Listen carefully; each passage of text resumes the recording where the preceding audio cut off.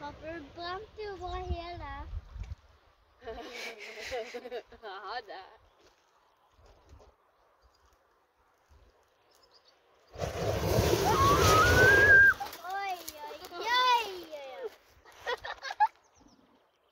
like a flex on my dude.